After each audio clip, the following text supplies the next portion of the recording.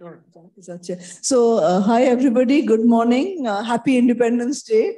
I'm really very impressed that so many, so many of you have actually showed up today. So, thank you for that. So, Jack here is going to be the session chair for the whole day. Right? So, you're the sessions. Cool. Um, yeah, good morning, everyone. So first, we have two talks today. First, we're going to hear from Kabir Ramola from 11 to 12. He's coming from the TIFR Center for Interdisciplinary Sciences in Hyderabad, and he's going to talk about some numerical studies of granular packings and uh, stress correlations in the vicinity of crystalline and amorphous systems. So Kabir, feel free to start. Thanks, um, Jack. Uh, it's a pleasure to be here. Title of my talk today is uh, Universal Stress Correlations in Crystalline and Amorphous Packings.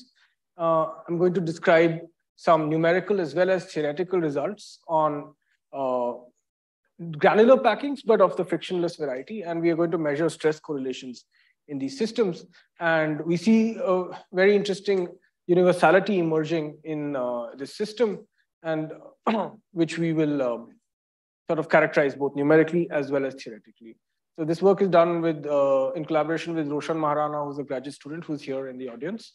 Debankur Das is a former graduate student uh, and now a postdoc in Göttingen and Pinaki Chaudhuri, who's in IMSC Chennai. Um, so the outline of my talk is basically that I will uh, introduce and present a universal characterization of stress correlations in athermal systems. Uh, study these stress correlations in particularly in energy minimized configurations uh, of athermal particles, uh, which interact with some uh, soft interactions, which I will uh, detail in the, in, in the talk uh, which we do both numerically as well as theoretically. And we will present results for these correlations in the stress tensor across a wide uh, variety of situations, including uh, very crystalline packings as well as fully amorphous packings and all in a whole range of uh, disorder between uh, these two uh, these two limits. And what we find is something very interesting is that at large length scales, the correlations that uh, appear in the stresses are quite independent of the microscopic structure of the packing and indeed are derivable using many different techniques, including a field theoretic derivation as well as a microscopic derivation, which I will detail uh, in this talk. Uh, and so this is something to do with uh, the local constraints of mechanical equilibrium showing up at very large length scales, which I will try to um, convince you of during this talk. Okay. So uh, what are the kind of materials that I'm interested in? Uh, we are looking at disordered amorphous materials, uh, which are basically made up of uh, constituents that are heterogeneous and also at large length scales, uh, they display elasticity. So, in, uh, so for example, take a look at this tissue, which is basically made out of many different components. Which are each individually elastic, but they also display collective elasticity. Similarly, you can look at uh, this foam, which also is made up of many different heterogeneous uh, units, but are which are all in contact. And on the large scale, this foam also has some elastic property although each individual element also has its own elasticity, but what is the collective elasticity is, is a question that we are uh, going to address. Similarly, you can have uh, granular materials such as rigid particle packings that have uh, completely amorphous structures made out of very different um, constituents, but on the whole, they display some sort of rigidity or some sort of elasticity that we will be uh, interested in finding out more uh, about the nature of, let's say, correlations or the nature of stresses in such systems. And I will uh, show you some, some data to back this up. but typically what we do is, in order to study such systems, is create very um, simple computer models that seem to reproduce many of the characteristics uh, that are associated with such systems. And so here is a picture of, of a simple bubble model that uh, people create, which is particles that interact with uh, nearest neighbor uh, interactions, where there's some overlap dependent energy or some overlap dependent force between the particles. And that leads to uh, a, a, configuration that looks very amorphous. So even though each of these uh, sort of circular bubbles has its own elastic property, on the whole, this amorphous packing has a completely different elastic property that we will investigate. Um, and that's sort of the focus. These kind of models are the focus of my uh, numerical as well as theoretical results for today's talk. Although we can do these uh, do the same analysis in experiments, and we also find very similar results in experiments, but I will not uh, be showing that in today's talk. So let me just recap the equations of uh, elasticity that many of you would be already familiar with, but uh, usually in continuum elasticity, what we do is uh, we write down these constraints of static equilibrium, which is basically you take the stress tensor of a system and you say that the divergence of the stress tensor is equal to some external force applied on the system. And in, in continuum elasticity theory, the divergence of the, uh, of the stress tensor can be related to some displacement fields, but through these uh, relationships uh, that are basically generalized versions of Hooke's law, that is, there's a stress strain relationship. So what I will write down is some strain tensor. So some pictures are missing here. So this is the displacement of one particle. So there was a particle I, there was a particle J, which was displaced by some, some amount Ui and Uj. These are some displacement vectors of each of these particles. Using these two um, displacement fields of these individual particles, you can create a stress sorry, a strain tensor, which is basically the derivative of these displacement fields. So this you would be familiar with. So you, you create a strain tensor epsilon ij using these microscopic displacement fields. Then you posit some sort of linear relationship between the stress and strain. And so sigma ij, which is the strain tensor, it's a two index object. You have a stress, uh, sorry, the stress tensor, which is a two index object sigma ij. You have the strain tensor, which is epsilon kl, which is also a two index object is basically related by some linear elasticity relationship, where you have some generalized elastic tensor, which is now a four index object, lambda ijkl, that connects the stress to the strain. So once you have this, once you have a stress strain relationship, you can now re replace this sigma in this equation of static equilibrium. And then you get an equation that is purely relating the displacement fields to the external force which is this well-known Cauchy-Navier equation. So given the external force on the system, some F at a position R, you will be able to write down uh, an equation governing the displacement fields. Here I'm uh, considering an isotropic stress tensor, so it only has this bulk and shear modulus uh, in it. But in general, this lambda ijkl tensor can have all kinds of components. And so, for example, if you have these metamaterials, you have um, very interesting off-diagonal components. And also now you, we have uh, recently, there are some theories of odd elasticity where some symmetries of this lambda ijkl tensor are not respected. And so you can have some very exotic behavior emerging. Uh, so this lambda ijkl tensor will be one of the focuses of my talk today. And what does it actually tell you in a granular packing? And what can you actually say about these, uh, these sort of um, these sort of elasticity co coefficients uh, from the stress correlations in uh, granular packings. So uh, these elastic moduli are generally determined by microscopic properties, but uh, there are with some symmetries you, you should be able to constrain them, and that's what we, I will uh, try to do uh, using the, the, models that I was describing. Okay. So please feel free to stop me at any point if something is not clear.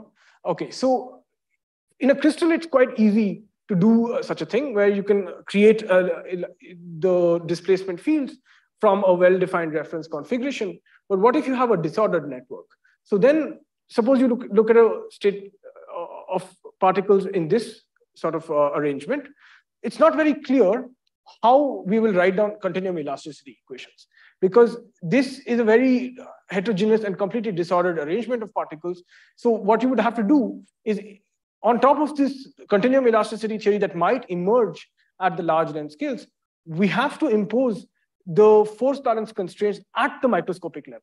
So the static equilibrium conditions on a packing of this sort become basically some network network equations. So for example, this FGC is the force acting on, on a grain at a particular contact. So if I sum over all the contacts C belonging to a single grain, the forces on each of these contact forces. So there, there's one grain, let's say we have this grain here, it has these contacts and each of these contacts has some forces. When you sum up the contact forces, uh, you end up with some external force. Similarly, you can do the exact same calculation for the torque balance and the torque balance also must be satisfied on this network.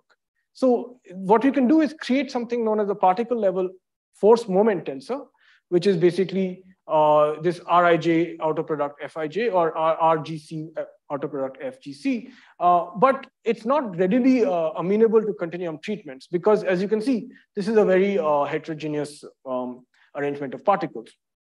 So what, what we could do is try to understand if you can coarse grain these stress tensors over a large enough uh, length scale and create uh, some coarse grained stress tensor field and then understand what the properties of this coarse grained stress tensor field is.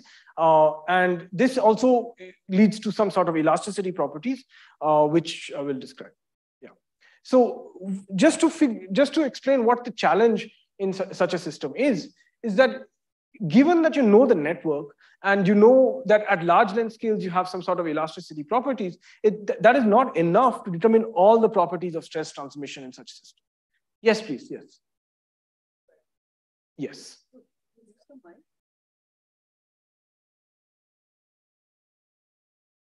So this external, mm -hmm. so Mm-hmm. are you applying some force externally to this granular SML? I would say that you could apply a force on every one of these grains. At this point, for example, this one, I don't have any external force.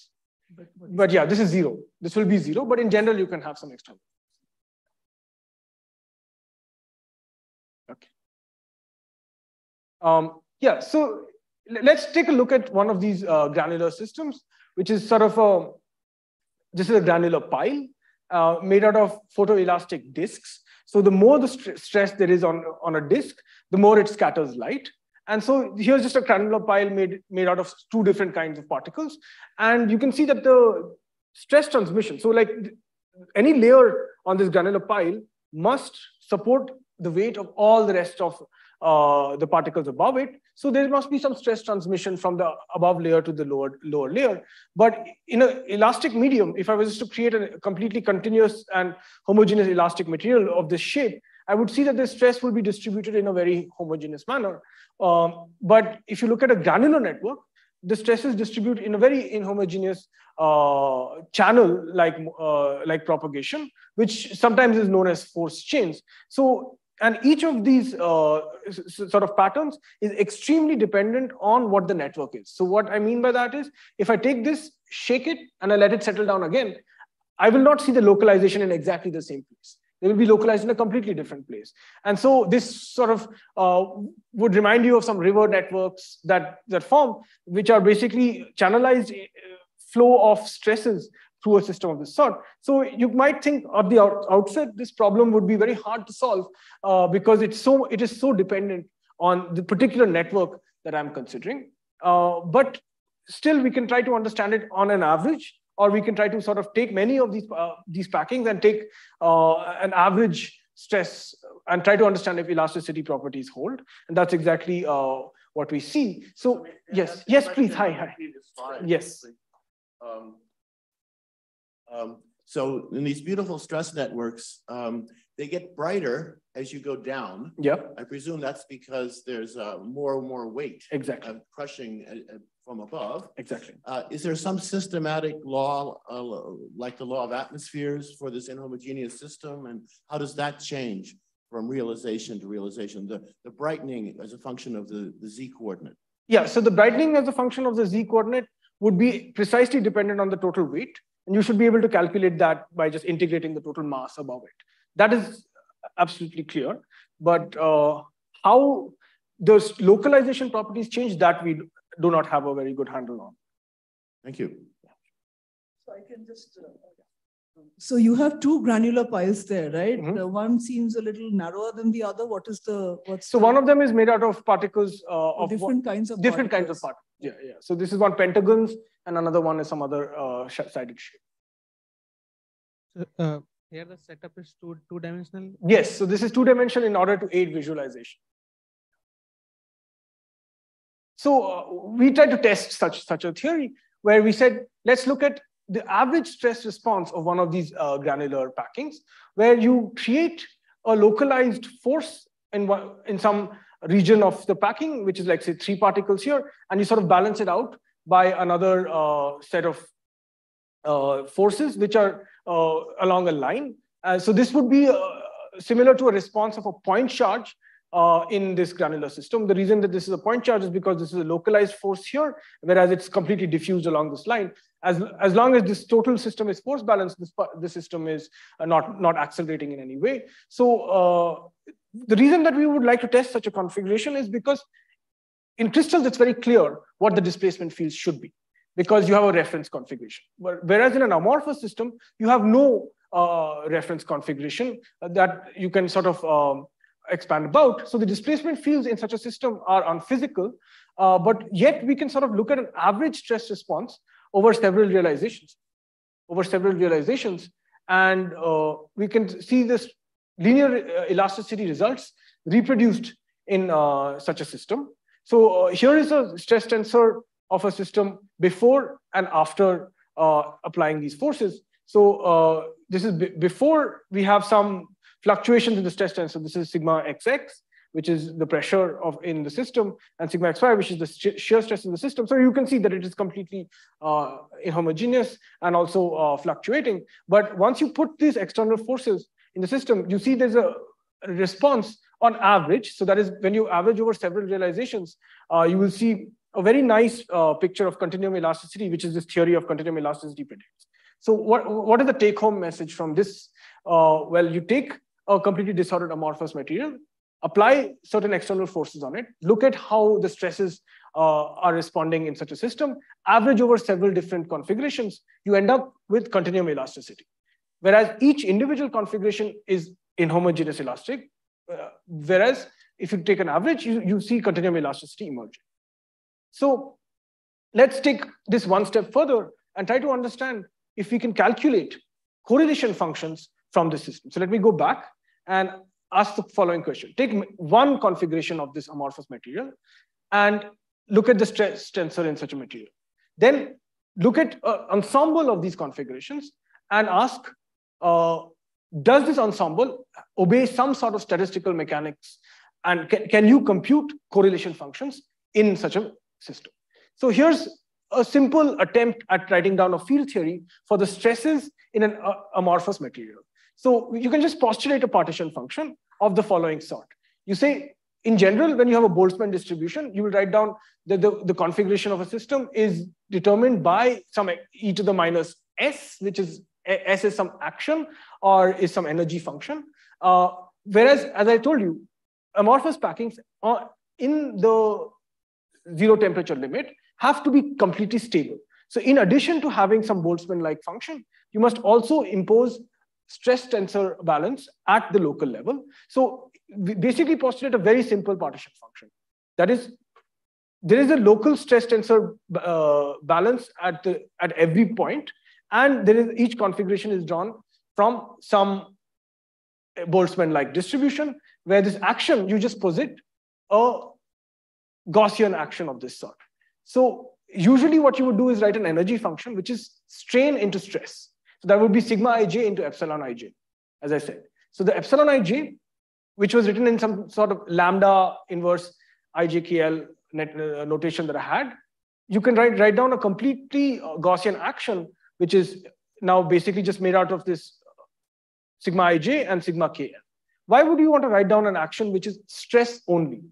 right? Because as I said, in an amorphous material, we don't really know what the strain tensor is. Because now I'm looking at an average over many configurations. The strain tensor is not taken from any particular reference configuration. What you can do is measure the stress. The stress is a measurable quantity. The strain is not a measurable quantity. So you'll write down an action made out of just the stress tensor. So this is what you would postulate. And given this partition function, we can readily just compute the correlation functions. Yes, please.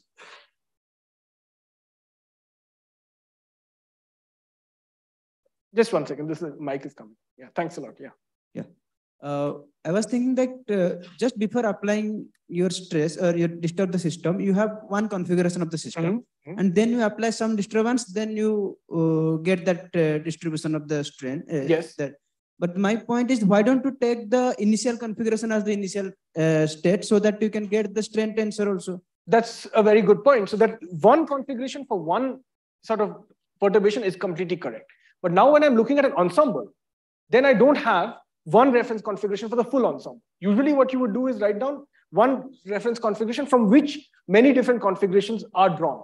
And all of them have the same reference configuration. So if I sort of go backwards and say I have one configuration and I go backwards to the reference configuration, then I average over all the back configurations. I don't get one single unique configuration. Is, is that is that clear? So uh, yeah. not a unique uh, reference frame you're saying. If you want to take the reference, then you have to continuously vary the reference frame. Yes. Okay. Yeah, and that's why the amorphous okay. uh, system is, is different from a crystal.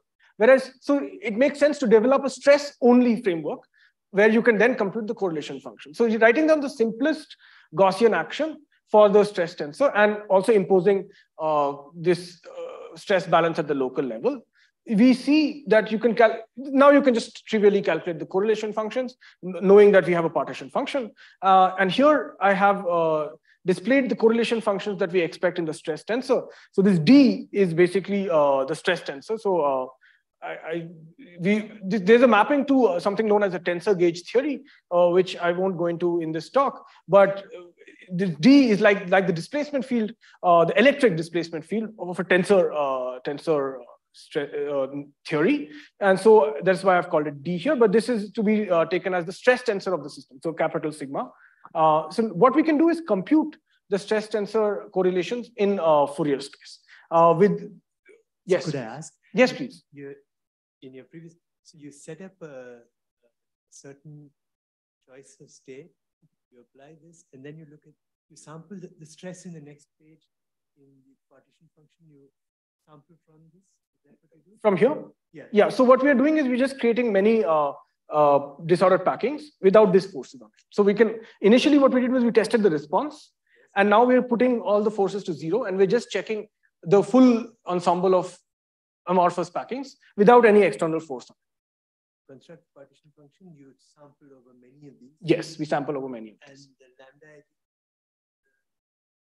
so the lambda ijkl is now going to be some sort of fitting function because we don't really know what the lambda ijkl is. There is no elasticity theory connecting them. So what we will do is measure the predicted stress correlations, and whatever we get will be our lambda ijkl.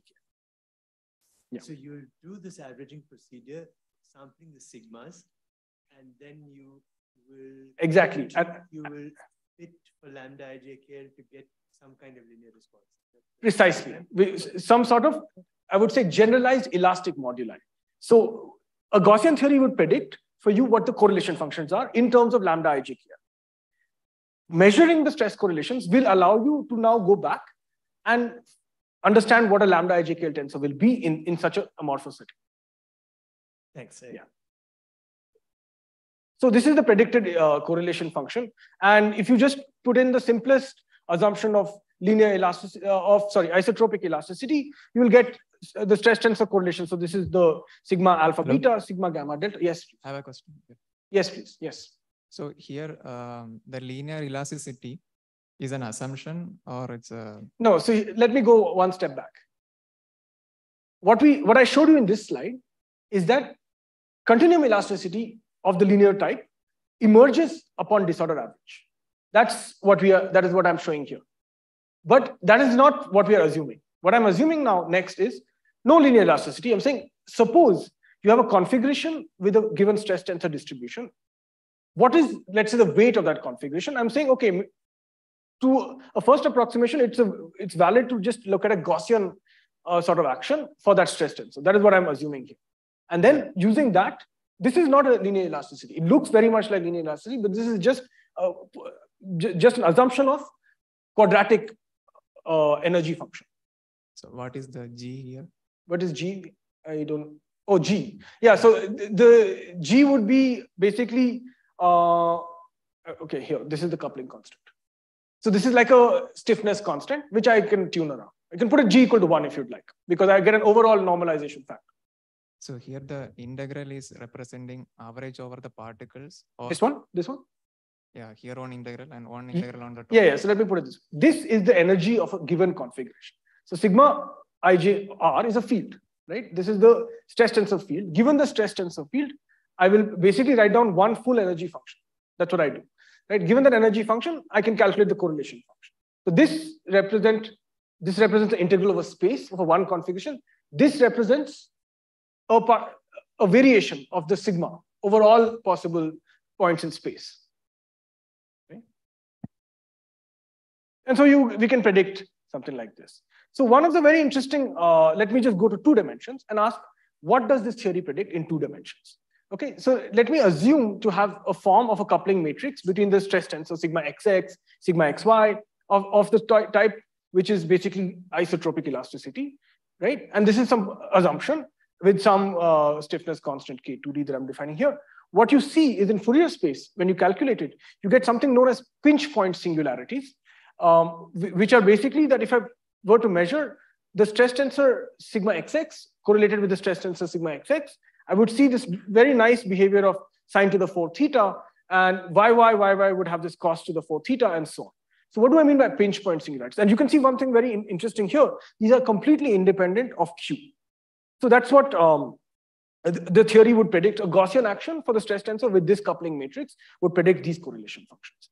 And it's quite remarkable that you know we measure these and we actually see that this works. And I, I will show you in much more detail uh, exactly these predictions from a microscopic perspective of the many different models. So this is what the prediction from a field theory would be. And uh, what you see are very interesting. It's independent of Q. Usually, if you were, were, to have a Gaussian theory, you would have a one by Q squared dependence uh, if it was hydrodynamic. Uh, but here you have no dependence on Q, and it depends on the angle. So if you were to approach Q equal to zero, which is the long wavelength, uh, the long length scale limit, from different angles, you get different behavior. This is called pinch point singularity behavior, which is sort of a hallmark of these tensorial uh, gauge theories, uh, which which I will show you and hopefully convince you, is coming from some local uh, underlying um, force balance conditions uh, or stress tensor balance conditions that lead to these kind of correlation functions. Okay, so with this preamble, let me go and show you what kind of models we can do exact calculations on and derive correlation functions for these uh, for these systems. So uh, we we look at these very interesting bubble-like models where you have uh, where you can put disorder in uh, the size of the particles, the the the interaction strength between the particles, Kij would be some interaction between the particles. Uh, we can also put uh, some external forces, which I will not consider in this talk. We can put some randomized external forces. We can, the, the two kinds of disorder that I will consider in today's talk is disorder in the distances uh, and consequently in the interaction strength between particles and disorder in the adjacency or neighborhood of the particle. And two of the paradigmatic models that I will consider in today's talk are this, one of them is these bubble models where you have some interaction uh, between particles if they overlap. And another one is this uh, sort of extended range interactions, which are known as Lennard-Jones with the cutoff. So these, this central particle will be uh, interacting with uh, particles up to the range of uh, three shells. And we can put some disorder in, inside these interactions to create crystalline packings as well as amorphous packings and see stress tensor distributions in, in such systems. Okay, so here's uh, one of the, yes, please. Yes, please. What happens when the, say, the large particles uh, pucker into the third dimension? Um, we haven't keep considered it, keep that. it approximately flat, Mhm. but let it let it go uh, a little bit into the third dimension. You would presumably get a wrinkled surface that would be very responsive to the disorder in the sizes and the lengths. That would be an interesting point. So what we can study, for example, is if you decrease the size of one of these particles by a small amount, then we can, depending on the disorder and the arrangement, we will be able to predict what the stress tensor is. So I would say puckering of one of the particles would be akin to just decreasing the size, effective diameter of one of these particles. I would say be increasing. Or increasing. Yeah. Or But, but I think uh, decreasing is also very interesting because it produces little hyperbolic uh, points of uh, singularity, little ga negative Gaussian curvature as opposed to positive. I see. And so I, I, I, would, these are very nice methods and I would encourage you I will try to look that. at these wrinkled systems. I will try that. Yeah, thanks. Thank you so much. Yeah.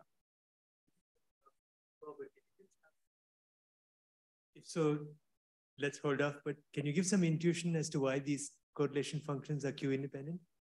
I see. Uh, so basically, it's because uh, if I looked at those earlier pictures you showed, that's not, you know, that's not what I would have thought, right? You'd have, you see scales and you see sizes of objects. Yeah. So a simple way of saying it is, if you were to look at displacement correlations, you get you get uh, one by q squared dependence.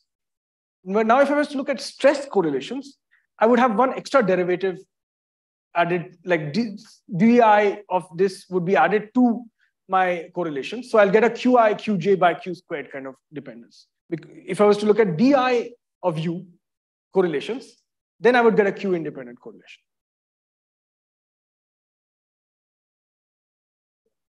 Stresses are like this Di of U. Yeah.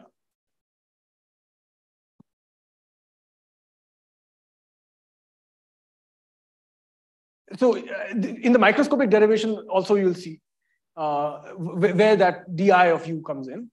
Um, yeah, so we study particles basically that are interacting through these uh, short-ranged uh, one-sided potentials of this form, where you have um, basically uh, interaction of this, uh, which is like a bubble interaction. So you, if there's an overlap, for example, if Rij is the distance between two particles, is less than the summation of their diameters, Aij is the sum of their uh, di diameters, uh, then this interaction turns on, which is basically like a spring interaction, where alpha, usually we take alpha to be two, but for alpha, for phi by two, for example, would be the Hertzian interaction that is uh, considered quite a bit in granular systems.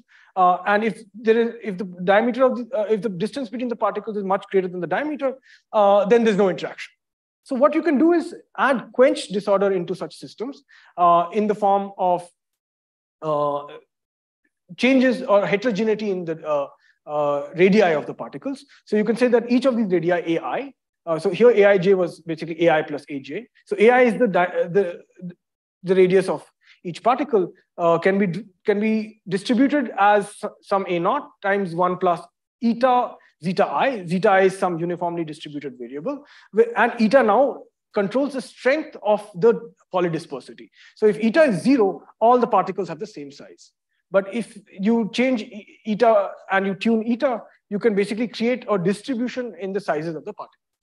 So I hope that's clear. And eta is basically also known as just the polydispersity. And you can choose, uh, sorry, A naught, this is basic A naught to be half. And zeta is some continuously uh, uniformly distributed, for example, variable. Yeah. Similarly, you can do uh, the same thing and add, add um, disorder into the Lennard-Jones interactions, uh, where you can say Aij represents now, it's not a simple uh, summation over radii. It's each uh, pair of particles has some Aij, which is uh, this, the, the length scale of the interaction between those two particles. You have some Lennard-Jones with some uh, cutoff, and it, you create some smoothing at the cutoff. And the cutoff is at some Rij by Aij is uh, 2.5, which is the typical uh, Lennard-Jones cutoff that is used in models of glasses. And you now add some extra terms to this interaction just to smoothen the potential. So it, it goes to zero at this uh, value of 2.5, and you just add some extra uh, polynomial terms in order to create a smoothness of the second derivative and so on. And the interaction strength, which is the um, uh, energy beyond uh, this 2.5 is zero, basically. That's the cutoff. Uh, so this is now a longer range interaction, not just a nearest neighbor. And quench, quench disorder can be added into these interactions by uh, sort of labeling uh, particles as small and large, and then you can create some uh, quench disorder in the Aij, which is the interaction strength. Uh, let's say is equal to lambda SS if both I and j are unlabeled. And you can also interpolate between the others, the small and large or large and small and so on. And uh, again, if eta is zero, which is the polydispersity parameter, um, all particles are small. But if you add, uh, uh, if you tune eta, some of them become large, some of them become small, and you have some heterogeneity in their interaction. So you can basically tune this eta and create a crystalline or an amorphous packing based on how large your uh, tuning parameter is. Okay, so let me now show you some results of what happens when you uh, tune the polydispersity starting from a crystal. So here is a very nice sort of study that's been um, done recently on uh, crystals and tuning the amount of disorder uh, to reach amorphous structures. So here is a starting from eta equal to zero, which is no polydispersity. So all particles are, are equal sized. You create this pure crystal. Now you tune the eta, you, you increase the polydispersity, and some of the particles uh, now lose contact. So here is uh, the, the color coding is the number of contacts of each particle. And so you start with all, particles with six coordination. And then as you increase uh, the polydispersity, some of the particles become larger, some of the particles become smaller. And uh, some of them lose contacts. You have some now with five contacts, some of them with seven contacts and so on. And this is what it looks like with this small polydispersity. Then you increase the polydispersity even further and you start to see this very uh, amorphous structure emerging where, and you go to this very, very large uh, eta limit uh, and you see a completely uh, amorphous pattern. So using, but just tuning eta, you can go all the way from a crystal to, to an amorphous packing.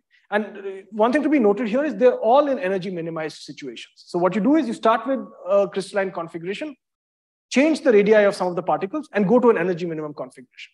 So this is all purely in the athermal limit, and you can create this uh, transition between crystal to amorphous. So you can say, yes, please.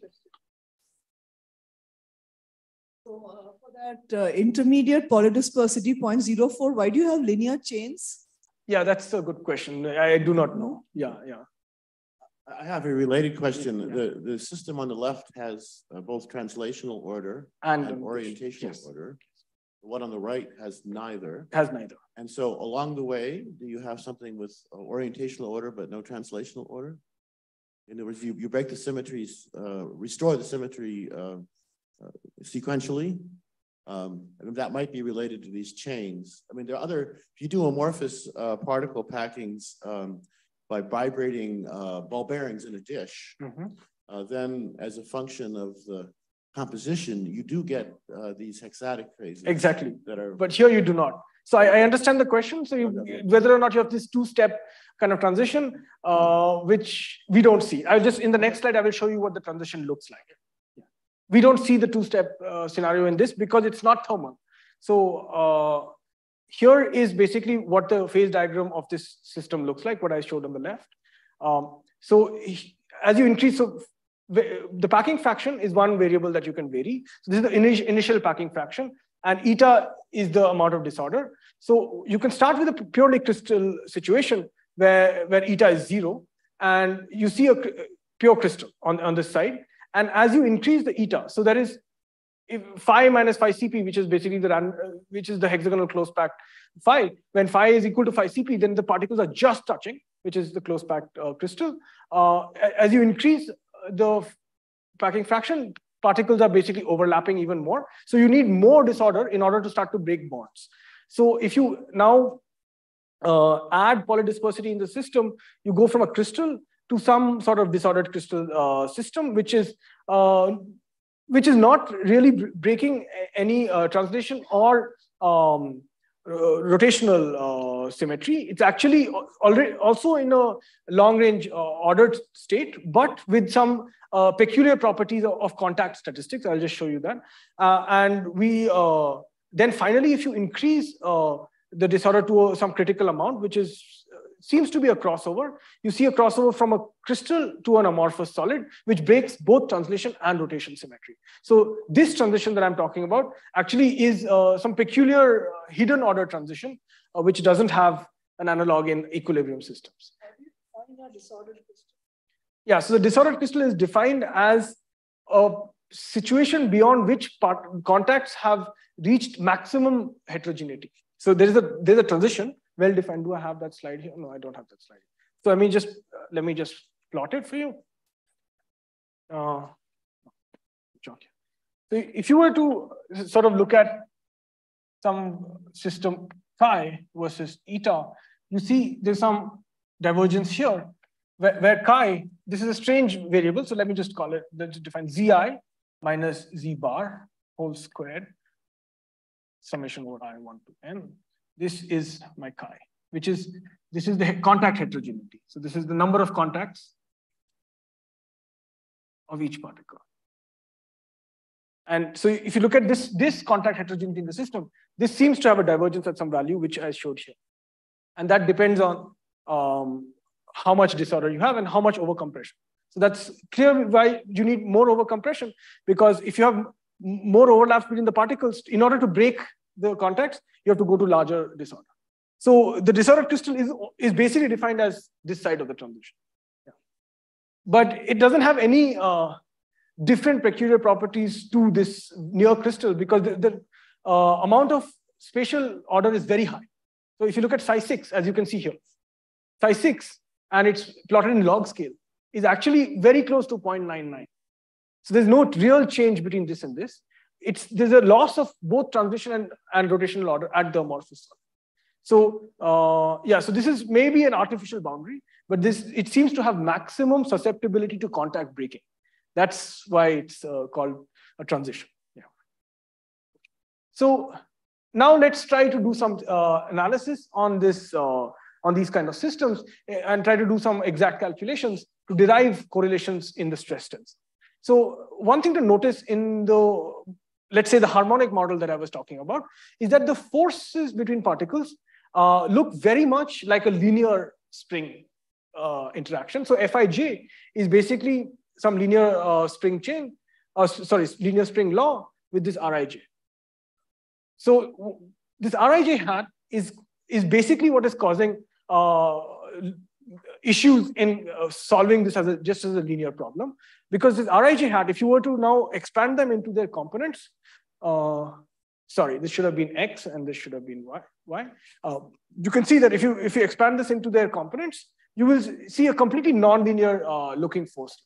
So if I were, if I was to actually uh, uh, try to understand the force balance condition, I will have to solve for these Xijs and Yijs in, in this nonlinear fashion, right? Uh, so how do I solve this? So we have a nice trick. What you do, which you do is do a disorder perturbation expansion. So you take the crystal, and now you treat the, the changes in the radii as a uh, sort of perturbation away from the crystal, where, where zeta i is basically the change in the radii of each particle, can be represented by a tuning parameter lambda and some delta zeta i. So as a response, so you start with the crystal, add some disorder in the in the interactions of the particles or in the uh, radii of the particles. As a response to this disorder, there'll be some change in the positions away from the crystalline uh, positions. So there's some Ri, which is the, now the new position of particle i, would be starting from the crystal Ri zero and you can have some displacements away from the crystal. This in turn will uh, lead to some changes in the interparticle force. So let me say that I had xi, which is the x position of the particle. Oh, okay. Sorry. Okay, so x position of the particle, it started from xi0 with some displacement, y position of the particle from y, y0 to some delta yi. Now I can use this in my force law and say that there's some change in the forces because of these displacements, uh, which I can then you know, input into my force law and try to understand what the change in the forces will be with respect to these uh, positions. So just to illustrate what you would do as a standard perturbation expansion trick is the change in the x component of the forces between particles will be related to the change in the x component of the displacements, but they will also be higher order terms. So you can do a term by term expansion. So this, the Cij components will just be the Hessian matrix, for example, whereas the higher order terms will have some higher order derivatives of the potential. Once you have that, all you need to do is impose force balance. And so you, you can, sorry, so let me go back. And these uh, you can actually do using a Taylor expansion about the original crystalline state. Uh, what you see is that C, these C coefficients are translationally invariant because you are uh, looking at the, the reference state is the crystalline state. So you can actually uh, derive these quite easily and uh, each of these ij components are sort of uh, independent of i, uh, which is very nice. That allows us to solve many problems uh, because now you can just go to Fourier space. I'll uh, get to that in a second. But what you do in order to sort of get the displacement fields is sort of you will perform a systematic expansion of the displacement fields uh, about the reference crystalline configuration order by order. And then you can use these displacement fields order by order and get the forces at every order.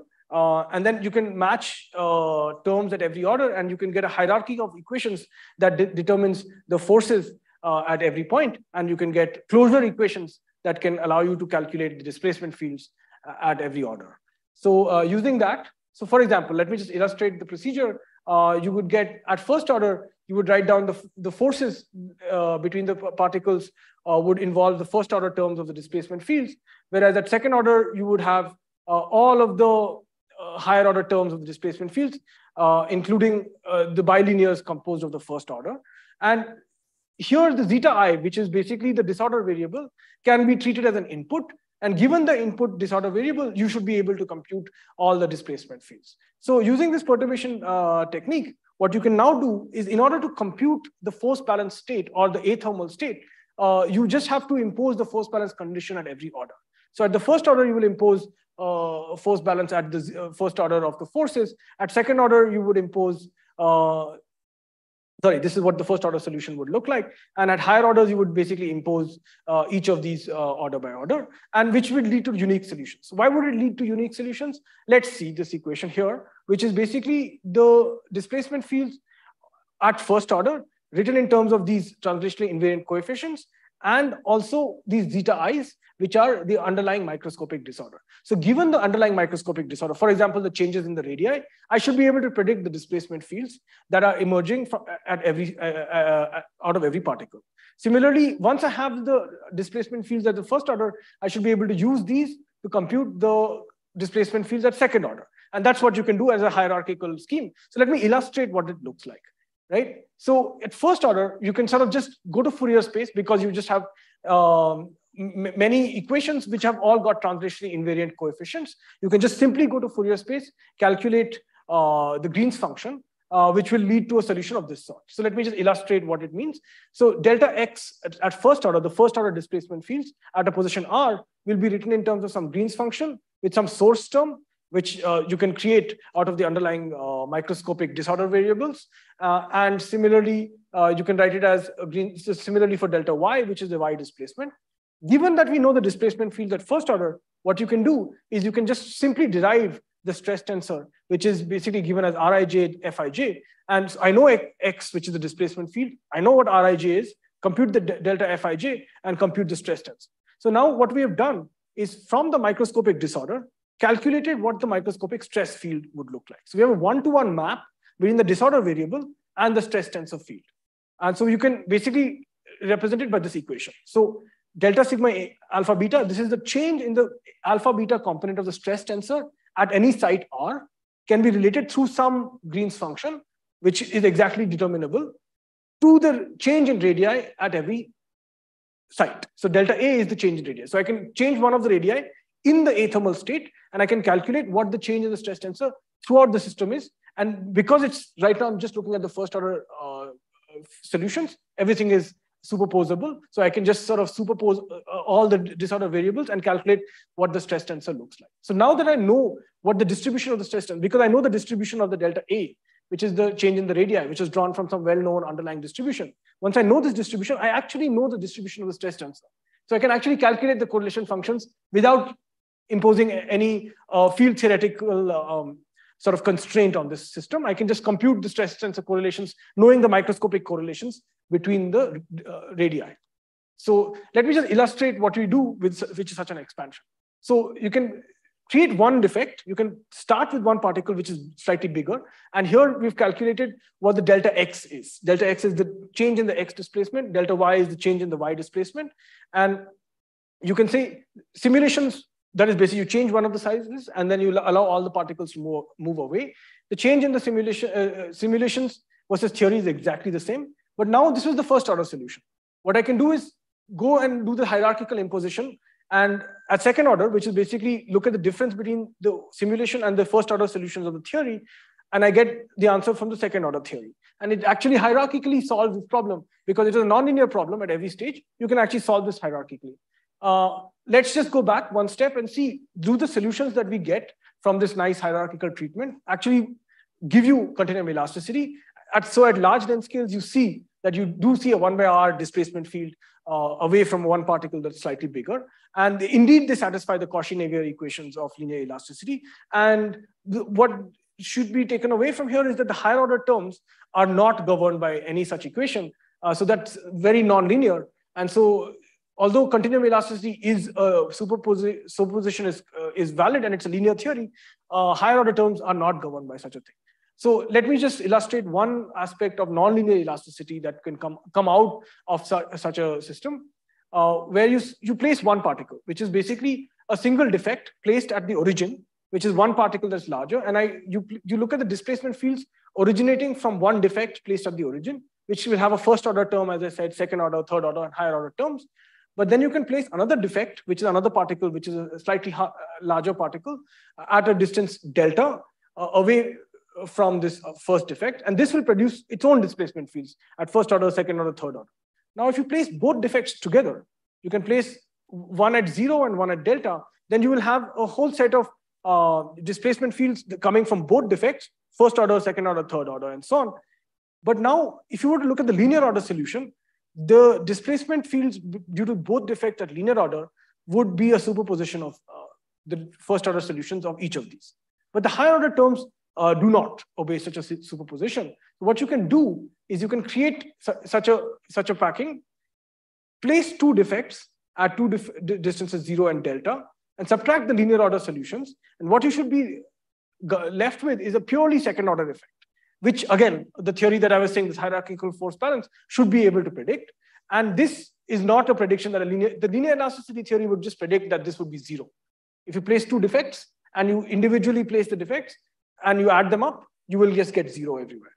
But if you do uh, if you do this on a disordered network, I mean on a network of the sort that I'm describing, uh, you will see some second order or higher order uh, elasticity uh, corrections, which again you can just check in simulations versus theory, and you should get the exact same answer.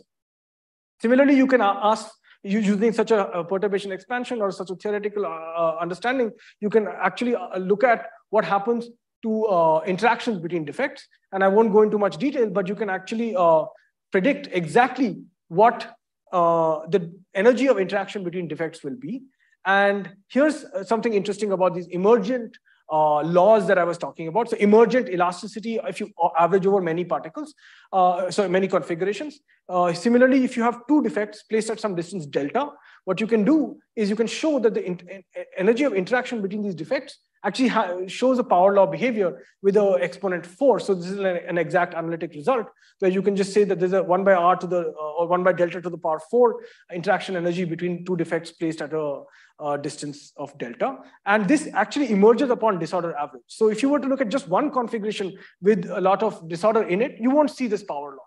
But if you take many disorder configurations and average over many of them, then you see this emergent power law uh, uh, emerging in such a system. So I won't go into detail. So now let me cycle back to the stress uh, response of such a system in the last 10 minutes of my talk. So you can actually theoretically derive what the stress tensor would look like uh, for uh, each individual defect uh, placed in such a system.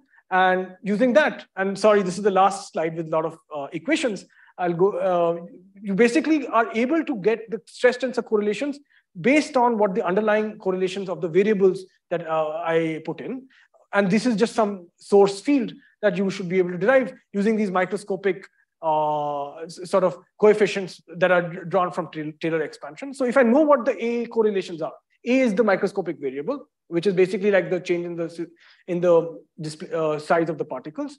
You should be able to predict exactly what the correlation function in the stress tensor right? So now let me, and th this is what it should possibly look like for those stress correlations of sigma xx, sigma xx. Okay, now let me show you some uh, configurations and some pictures of what the correlations look like. So here are the configurations of particles in commensurate whereas in, and incommensurate uh, lattices. So this is a commensurate crystal that you've created with some sort of disorder, uh, which has, you can see this very polycrystalline uh, sort of configuration with grain boundaries and so on. As, as you tune eta beyond some uh, critical value, you see that it, it becomes a completely amorphous state.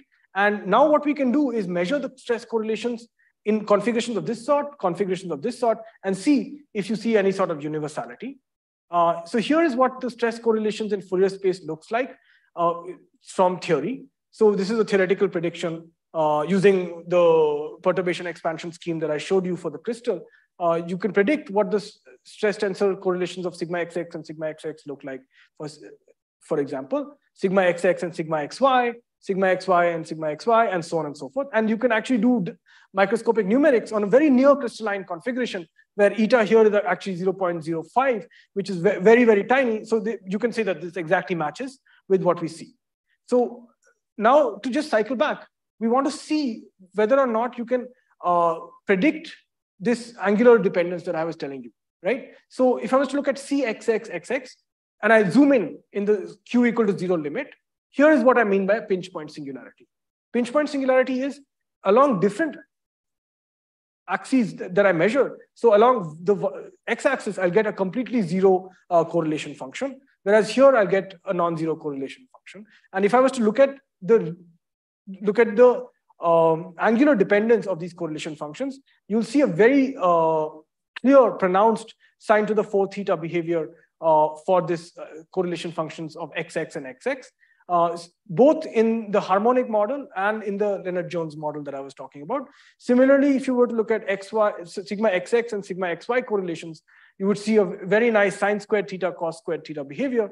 And similarly, if you were to look at YYXX, it exactly uh, matches the field theoretic prediction with an isotropic stress tensor that I was describing. Whereas these are also exact results, which I was uh, showing at the previous, uh, in the previous slide, where, where we can exactly compute this. So these are, this is sort of a match with the theory and numerics. But this is near crystalline, very close to the crystalline state. So you would expect that such a theory would be valid.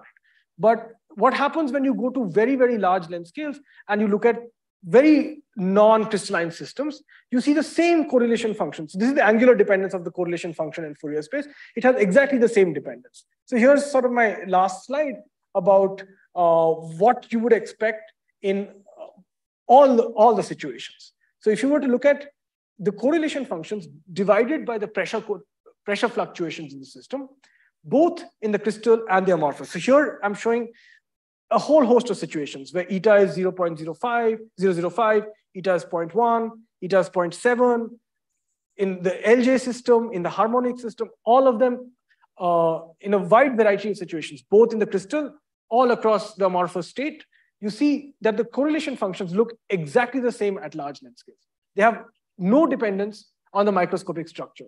They have basically very different crystalline order, very different uh, I would say contact networks and neighborhoods. But if the, the, the Q going to zero limit, that is, you're looking at this, this point, is the large length scale dependence. You uh, basically see a universal behavior of stress correlations in all these situations. And they're very well described by the isotropic correlations that I was uh, talking about in the tensor gauge theory or the stress tensor uh, partition function language that I described. But uh, they're also amenable to exact descriptions where you can actually compute these correlations in an exact fashion. So um, with that, let me sort of, uh, I will skip this part where you can actually change the pre-stress and you can change the pressure and see how the correlation functions change. Um, and you can, of course, uh, derive these with uh, the theoretical analysis that I've pre uh, presented. So the last point I would like to make is that you can try to analyze what this crystal to amorphous boundary would look like using these stress correlations. So if I was to look at this for the correlations of the stress tensor XX XX component in Fourier space, in the near crystalline limit, I would see that there would be a very well-defined Brillouin zone. What I mean by that is that there's a periodicity in real space, there's a periodicity in, um, in Fourier space as well. So here you can see a very well-defined Brillouin zone that, uh, that appears when you're looking at even at an eta of 0.3, which is a very large polydispersity. These are not very crystalline configurations, but if you were to measure the correlation functions in this, this is a pure numerics. We don't have a theoretical understanding here. Pure numerics, you were to measure these correlation functions, you see there's a Brillouin zone. But as you cross the crystal to amorphous transition, here, you see that the large length scale behavior remains universal. Large length scale is Q going to zero. So you see this pinch point singularity with the sine to the 4 theta uh, dependence in the correlation function at Q going to zero. But the intermediate length scale physics changes, and you see that the Brillouin zone is lost. So you actually see that the periodicity is lost, but keeping the large length scale behavior universal. So this is sort of a very intriguing signature of a athermal crystal to amorphous transition, which we are yet to investigate. So you can see that this, this is the Q going to zero limit, does, remains unaffected across the transition. That is what I mean by the large length scale universal properties. But there is some intermediate length scale changes that would be very interesting to actually understand. Uh, and this is sort of an answer to the question of, about what happens at the transition. Um, so this is something that would we are trying to understand in more detail, where the changes uh, in this Brillouin zone structure, what would it mean in terms of, let's say, the partition function language that we are talking about. And yeah, with that, let me uh, just conclude. Uh, so we demonstrated both numerically as well as theoretically uh, the universality of stress correlations in static uh, athermal solids uh, at large length scales. So orientational order vary quite a lot in such structures, uh, but the fluctuations of the stress tensor at large length scales remain unaffected. Uh, these universality basically emerges uh, from the constraints of mechanical equilibrium. What I mean by that is if you were to just take the most basic partition function and the only constraint you add is the fact that the, that, that force balance or the stress tensor must um, satisfy a divergence-free condition, you can predict the correlation functions in all of these situations. Uh, and it also can be done using these microscopic perturbation theory analysis that we were, I was talking about. Uh, you can sort of analyze features of amorphization transitions using stress correlations. And we hope to uh, soon understand some dynamical signatures of correlations, uh, which could reveal some very interesting differences between crystalline and amorphous packings. There are, there are some recent studies about entropy production in such systems, uh, which might be able to shed some light uh, on the differences or dynamical signatures between crystals and amorphous systems. Uh, but yeah, we are still uh, exploring these directions. So with that, thank you. And I'd like to take some questions. Yeah. Thank you. Uh, are there any questions? I'm happy to take them.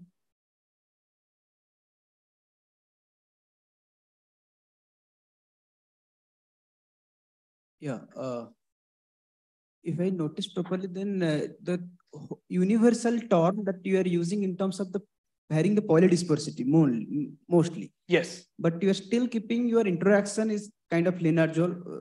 No, so that's what I'm saying. Let me go back. So I we looked at two different kinds of interactions, harmonic as well as Lennard-Jones, right? So both these, and I've plotted them all on top of each other. So let's just focus on this picture. Stress correlation sigma xx, sigma xx in Fourier space. These are all the results. So this is small amount of disorder for a Lennard-Jones systems, small amount of disorder for a harmonic system, uh, very, very large amount of disorder for a Lennard-Jones system, very, very large amount of disorder for a harmonic system, beyond the transition, before the transition. Uh, yeah. Uh, is that harmonic term is uh, sort of uh, capturing the yield stress kind of any inherent interaction in the system? Yeah. So let me go all the way back. So usually when people study bubbles and foams, okay, okay, yeah, you look at these kind of models. So let me go back. Yeah, so these are the kind of models that we talk about. Okay. So if alpha was 5 by 2, I would call it Hertzian. We've kept alpha equal to 2. So this harmonic interaction is basically between two particles. It's not some overall harmonic interaction in the system. Okay. Yeah. In such kind of system, mm -hmm. you the kind of force balance and the uh, evolution to in, due to the defects or something, how this uh, because these are slowly relaxation system. If I look at the practical scenario, they're very slowly relaxation system. Yes. How the relaxation affects such kind of? Uh... It's a good question. So we are not looking at dynamics in any of these studies. We did not look at how it relaxes to the energy minimized state. So we look at only the energy minimized state, like when full force balance is valid. For example, if you were to not allow it to go to the force balance state, then I would say that this scenario that I was predicting here, using this field theory, would not be valid. You will not go, so let me go all the way back to this prediction here at large length scales. Yeah, let's look at this picture.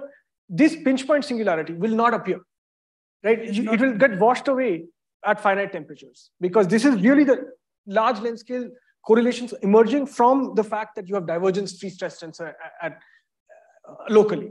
And you will not have any divergence-free constraint when you don't have pure force balance. So suppose you were relaxing and it was not well balanced, then it will not have divergence-free constraint on the stress tensor.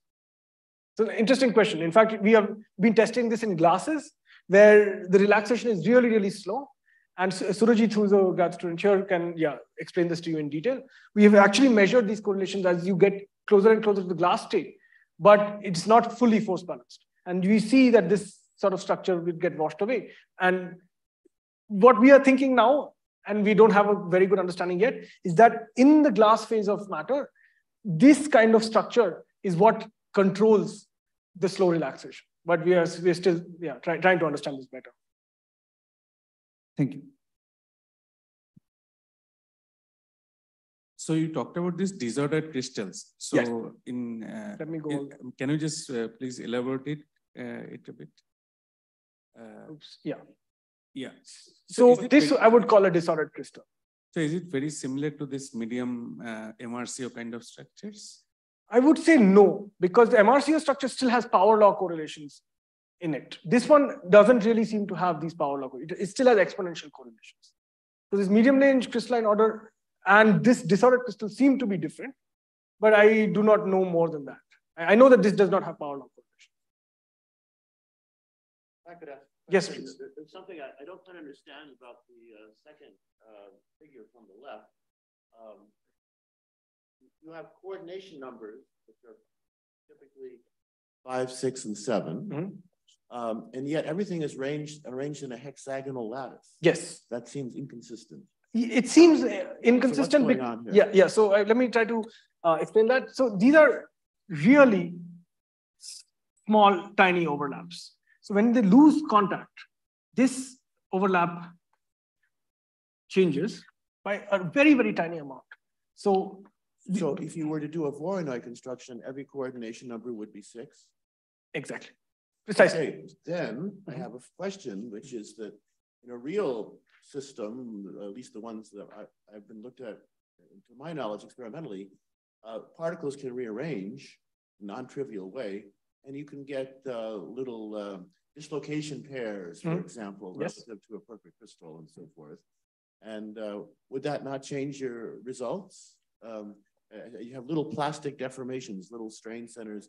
Uh, you know, Jim Langer talks about Yes, these things. yes. Would that, how does that affect your theory? So yeah, so shear transform, transformation zones and so on, which occur in such systems once you uh, uh, allow for larger disorder, seems to not affect our, sorry, let me go, seems to not affect the large length scale physics that we see in such systems. So So seems meaning you've done a systematic study of finite size effects? Yes, so we have done- Change? yeah, so we have done systematic studies of uh, what happens at much, much larger length scales and looking at the stress correlations at large length scales. And we don't see any real changes in, in the nature of the stress correlations, even once you've uh, got these sort of defects inside the system. But But then if the strain, you know, the stress centers start to separate, if there's some sort of glide motion of these embryonic dislocation pairs, that will certainly change the large uh, scale correlation functions. It's, it's, it's, it's inevitable. It'll break up the translational order, might break up the orientational order. So I can see that in a, in a simulation where you leave out certain deformations, you might have some uh, interesting universality, but I'm not sure it's universal uh, if Oh. you uh, allow for these plastic deformations, which are undoubtedly present I in see. actual ball bearing arrays, for example. yeah, so these glide deformations, you're right, Yeah. would, could be long range. Right. and that could uh, change. But we did not uh, look at such uh, displacements which are much long, much more long range in the system size. But I, I would be happy to, We can talk about it. yeah, yeah, thanks. That's an interesting point. So as he said, if you have glide dislocations, which basically would be very long range, that could destroy this uh, universal structure. But uh, somehow we did not uh, see that in, in the simulations we've done. But again, I, I repeat an earlier comment. I would encourage you to uh, keep this simplification and let things buckle into the third dimension. Mhm. And then I think you'll get universal wrinkles, Okay, which would be uh, interesting perhaps to analyze. I'll, I'll take a look. Yeah, thanks a lot. Okay, uh, I think if there's no other questions, we'll thank the speaker again. And from now, 12 to 3, we have the next poster session. Lunch will be in the middle of that, so you don't need to stand to your poster the whole time, but there will be some poster judges coming around. So they're all set up outside, um, and I think lunch is 12. Lunch starts at 12.30, just out in the usual place. So uh, yeah, please enjoy looking at the posters, and the next session will start here at 3.